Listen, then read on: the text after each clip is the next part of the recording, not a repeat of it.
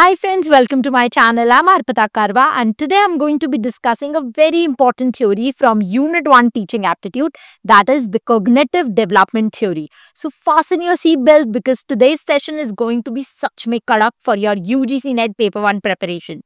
You might ask why? Because questions from this particular topic are as common as Sharma ji ke ladke topping every exam. So, without any further delay, let's jump right into the topic. And I promise that I'm going to make this topic easy peasy, lemon squeezy for you. So, make sure you watch this video till the end. Okay, so now before we look at cognitive development theory in detail, let us first understand the meaning of the word cognition because that forms the part of the terminology, cognitive development theory. Now, what is cognition? Cognition is your brain's ability to take in information process it and then store it for later use.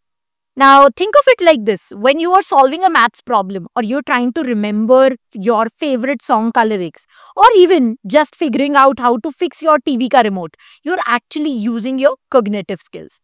Now, cognition, friends, isn't just about thinking. It is also about learning. Learning se kaise connected hai? Let me tell you. So, let me give an example. You've all had days in our childhood when we were trying to focus in a classroom and it was not happening.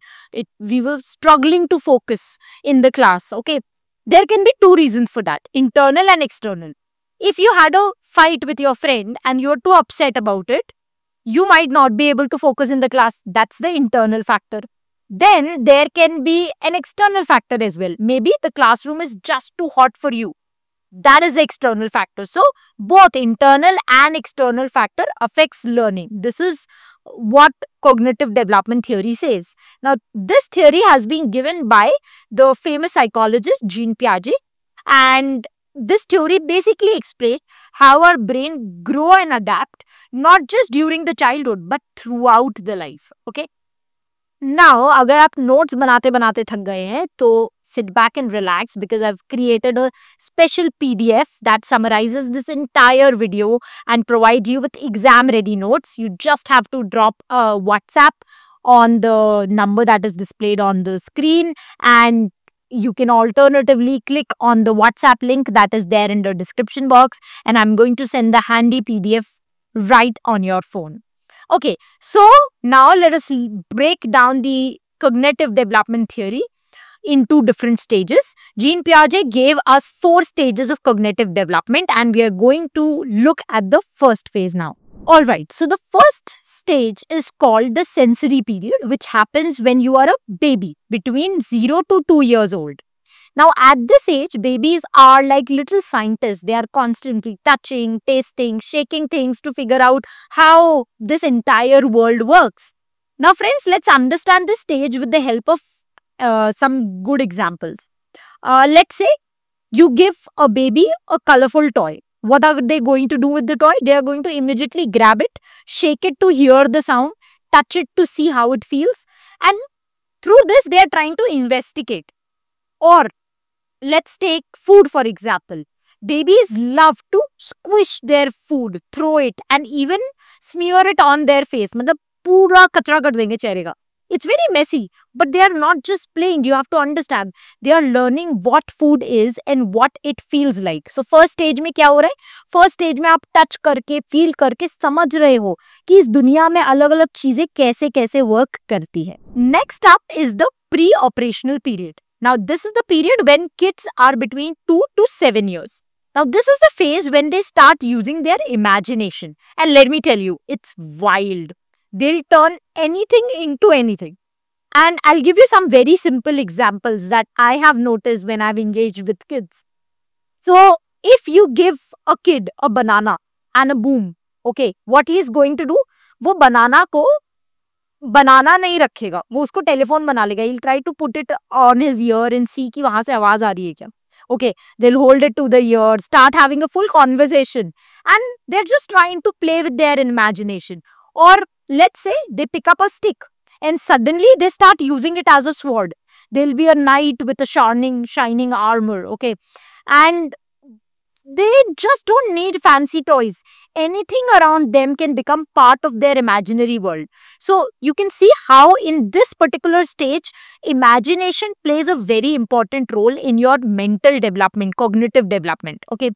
Uh, before we move on to the third stage, just a small message. If you want more such informative videos wherein I explain most important topics of UGC NET Paper 1 in less than 15 minutes, then just hit the subscribe button and tap, tap on the bell icon. And don't forget to check out the playlist section where I've organized unit-wise lectures for UGC NET Paper 1. This way you will be able to find all the lectures for each unit put together, making your preparation so much easier. Now the next stage is concrete operational period. Now when kids hit this stage, they are around 7 to 11 years old and this is the time when they start thinking logically. Now, here's a catch. They can think logically about stuff that they can see or they can touch. Let me give you some examples to help you understand this concept. Imagine you are pouring water from a short, wide glass into a tall, skinny glass. A younger child might think that there's more water in a tall glass. But at this stage, kids get it. They know that both the glasses have the same amount of water. Even if दोनों glasses अलग अलग दिख रहा है but water का quantity same है ये इस time उनको समझ आना शुरू होता है Another example can be if um, you give a kid three cookies. They will eat one and they won't panic because they know that they have two left with them. Simple maths. वो लोग कर सकते हैं calculation. But at the same time, you can see that they are trying to showcase their understanding of numbers and quantities logically. So this is the period when this quantification starts happening in their head. Okay, finally we hit the formal operational stage. Now this is where it starts getting really deep guys. Now this stage starts somewhere around when the kid is 11 years old and then it continues for a long period of time. Now this is the period when they start thinking about abstract ideas. Now abstract idea kya hai? Let's understand this with help of some example. Uh, let's say there's a teenager who is thinking about how life will be on Mars. Now even though they've never been to Mars, they can still imagine what it would be like and they will come up with ideas on how humans might live on another planet. They will also start having complex thoughts about topics like justice. Okay, like if there's a school rule that they don't agree with, they might start thinking about whether it's fair for everybody and why should this rule exist in the first place so आप देखेंगे, ये सब abstract concept है जिनके बारे में अब वो फाइनली समझने लग गए ना friends there's also a very interesting topic of schema which is uh, going to help you understand cognitive development theory even better. You can find this topic explained in detail in our amazon bestseller the ugc net paper 1 book. This is india's only net book that comes with 100 plus video lectures and 3000 plus unit wise solved pyqs and guess what? We've even received appreciation from big dignitaries like amitabh bachchan. Now friends before i'm talk about some PYQs that have come from this particular topic, it's time to look at some interesting terms related to cognitive development theory that has often been asked in UGC NET paper 1 exam. So the first interesting term is egocentrism. Now what is egocentrism? It is a term that is used to describe how young children in the pre-operational stage, that is between the age of 2 and 7, they see the world only from their own point of view. Now, friends, you might feel कि अरे ये तो बड़ी selfish बात है, but no, it's not that these kids are selfish. It's just that their brain aren't developed enough yet to understand other person's perspective. They think that what they see, feel and want is exactly what everyone else sees, feels and wants. For example, if a child is playing with a toy and their friends want to join in, the child might refuse to share. They don't understand why their friend would be upset because in their mind the toy is there and they want to keep playing with it so they can't see the situation from their point of view of their friends so you can see isko egocentrism kehte Next important term is object permanence. Now, this is a concept that babies develop during the sensory motor stage, which happens from birth to around 2 years old. Now, object permanence kya hai? Uh, it is an understanding that things continue to exist even when you can't see them. Now, before this skill develops, if a baby can't see something, they believe it's gone forever. A classic example is playing peekaboo with a baby. अगर आप baby के साथ कभी भी वो पीकाबू खेलते हैं जिसमें आप अपना फेस कवर करते हैं the baby might think that you disappeared because they can't see you anymore. So if you hide your face like this, the baby might feel that you've disappeared. But as they grow and develop object permanence, they start to understand that you are still behind your hands even when they can't see you. So you can understand कि कैसे object permanence आने से उनको काफी चीजों में clarity मिलता है finally the third important topic is conservation. Now, this concept develops in the concrete operational stage that happens between age of 7 and 11. Now, conservation is the ability to understand that just because something changes in shape or appearance, it doesn't mean that the quantity or amount has changed. Younger children often struggle with this concept, but as they grow older, they start to figure this out. I've already given one very interesting example of the small and the big glass. Let me give you another example. Suppose you take two pieces of clay. Now you roll one in a ball and flatten the other like a pancake.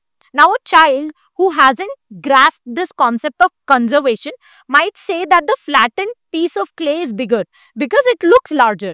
But a child who understands conservation will know that both the pieces of clay are of the same size even though they look different. Okay, now that we have understood the entire cognitive development theory, it's time to look at some previous year questions from this topic.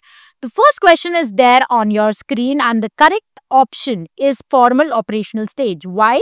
Because friends, I have already told you that adolescent students belong to this particular age uh, that is from 11 years and older. Hence, accordingly, they fall under formal operational stage. Now we move to the second question. And the correct answer, I'm sure you would have guessed, it is the four stages of cognitive development, sensory motor, concrete operational, operational stage and formal operational stage. Now friends, I have a question for you which is displayed on your screen. Quickly comment the correct answer in the comments box. Friends, if you're looking for more PYQs on this topic, you can refer to the Unit 10 questions in our UGC NET Paper 1 book that provides you with 3000 plus solved unit-wise questions. That's it from my side for this video lecture. I'll meet you very soon in the next video lecture. Till the time we meet next, happy learning, keep loving literature and stay tuned to arpitakarwa.com.